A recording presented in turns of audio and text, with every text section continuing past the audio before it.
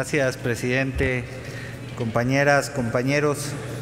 Quiero en primer lugar agradecer a mis compañeras, las senadoras Cristina Díaz, Angélica de la Peña, por todo este trabajo conjunto durante muchos meses eh, que se ha dado en diversas reuniones de trabajo, debates internos con organizaciones de la sociedad civil y que hoy estoy convencido que nos traen a un buen dictamen, un dictamen que ayudará a las víctimas.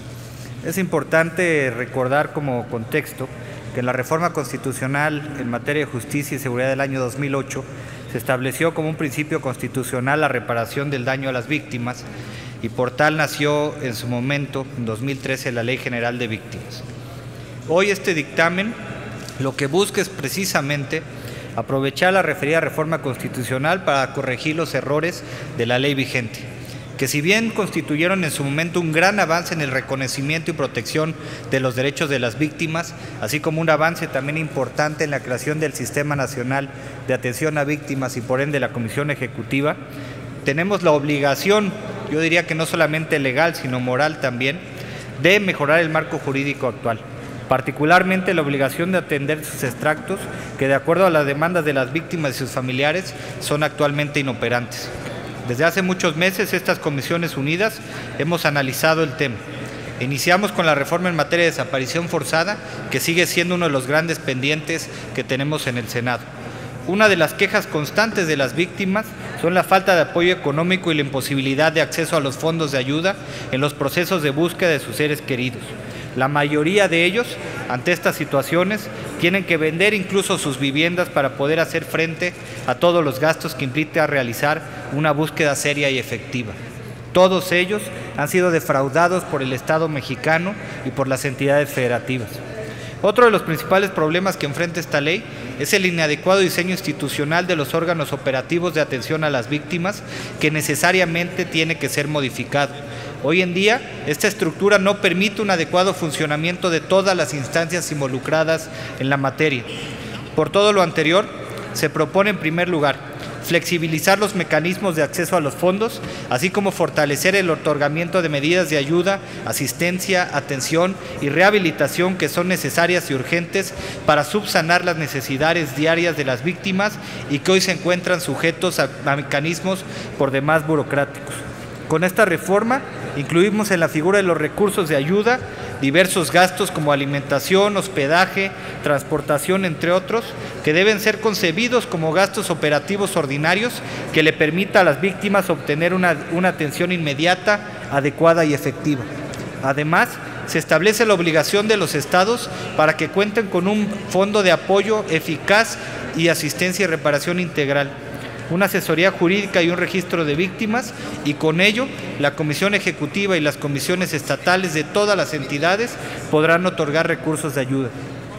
Para garantizar el funcionamiento de este esquema, se determina una compensación subsidiaria a víctimas cuando la entidad federativa que corresponda no cuente en ese momento con los recursos para su otorgamiento lo anterior será factible jurídicamente mediante convenios de coordinación entre la CEAP y las comisiones de víctimas de las entidades federativas. Por otra parte, la ley vigente establece que la CEAP únicamente puede intervenir tratándose de delitos federales. Esto resulta totalmente inadecuado, pues existen un sinnúmero de víctimas de delitos del fuero común que se encuentran impedidas para obtener los apoyos contenidos en la ley. Conforme a lo anterior, se propone establecer la figura de la facultad de atracción a fin de determinar de manera clara los supuestos en los que la CEAB puede intervenir en la reparación de las víctimas de delitos del fuero común. De igual forma, se pretende incluir el interés superior de la niñez como principio rector de este ordenamiento en, congruencia con la Ley General de los Derechos de Niñas, Niños y Adolescentes.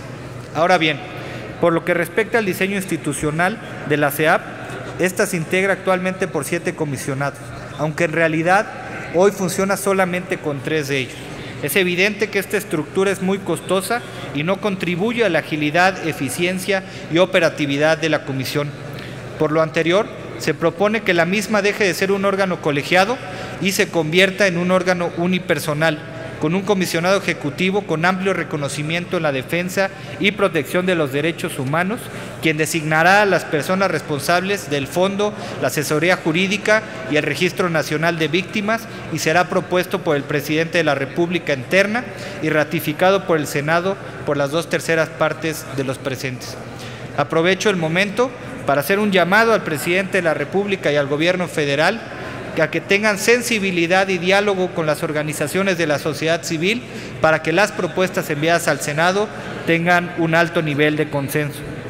En otro orden de ideas y derivado de la reforma constitucional de 2008, el papel de la víctima en la administración, procuración e impartición de justicia se volvió imprescindible, por lo que se proponen diversas disposiciones a fin de cumplir con este objetivo, entre las que se encuentran fortalecer la figura del asesor jurídico al ser uno de los principales mecanismos con los que se cuenta en la Ley General de Víctimas para hacer valer sus derechos a través de un efectivo servicio civil de carrera. Se establecen mecanismos para que las víctimas puedan contar con servicios de atención médica y psicológica, trabajo social y aquellas que consideren necesarias para cumplir con este objetivo aseguramiento del acceso de las víctimas a la educación y a asegurar su permanencia en el sistema educativo, entre ellas incluye a las víctimas de desplazamiento interno. Asimismo, se amplían los criterios de representación del asesor jurídico para que cubra no solamente el procedimiento jurisdiccional en materia penal, sino cualquier procedimiento de carácter jurisdiccional o administrativo que derive de un hecho victimizante. Compañeras y compañeros, este dictamen se ha trabajado con gran amplitud y desde hace mucho tiempo. Es un tema que hemos analizado y estudiado junto con las organizaciones de la sociedad civil. El tema de atención a víctimas no es un tema político ni de partidos o ideologías. Es un tema de alto interés social y de interés nacional que debemos atender y solucionar. La realidad actual es que miles de personas buscan apoyo y no lo reciben. Queremos decirle a las víctimas de delito que el Senado de la República ha puesto en marcha las acciones necesarias para que puedan obtener la ayuda que se merecen, la ayuda que requieren de una verdadera democracia. Seamos muy claros, el fondo real de lo que se propone el día de hoy no es la nueva Junta de Gobierno que tendrá la Comisión, ni la totalidad de su estructura. La finalidad real es que las víctimas y sus familiares puedan tener un verdadero y eficaz acceso a los apoyos económicos, becas, oportunidades laborales o la atención médica y un correcto asesoramiento jurídico. Y con ello, tener un verdadero respaldo por parte de la autoridad. Son miles las familiares y personas desaparecidas que esperan que la Comisión Ejecutiva actúe y funcione. Les garantizamos que así será. Los invito, compañeras y compañeros, en votar a favor del presente dictamen. No nos neguemos la oportunidad que ahora tenemos de apoyar a las víctimas a acceder a un verdadero y eficiente apoyo. Seamos partícipes de este progreso normativo y dejemos como legado una, una digna perdón, atención a las víctimas de nuestro país. Es cuanto, presidente.